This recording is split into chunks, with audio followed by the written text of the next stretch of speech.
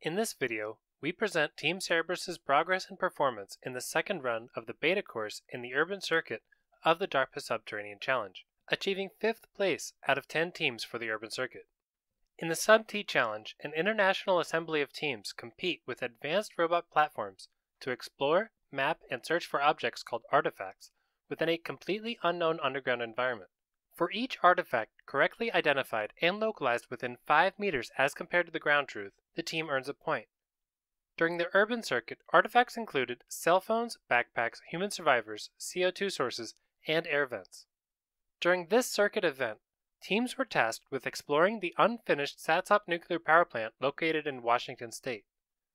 The environment consists of a complex maze of both long, narrow corridors and spacious rooms, alongside numerous obstacles.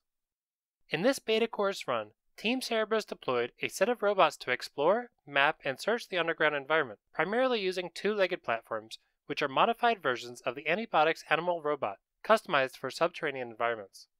The exploration and mapping of the environment were supplemented by a ground platform named Armadillo, providing extended network connectivity deep within the competition area. The robots autonomously explore the underground setting with only a single human supervisor allowed to communicate with all of them. They exploit their onboard complementary SLAM, exploration path planning, and multi-robot map optimization to execute their mission.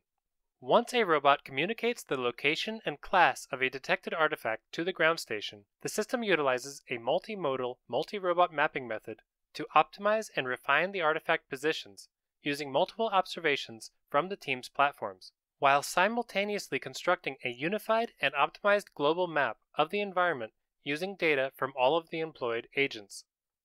Throughout the Beta 2 course, Team Cerberus traversed a total path length of 730 meters, detecting and correctly reporting a cell phone, a gas source, and a human survivor, scoring 3 points.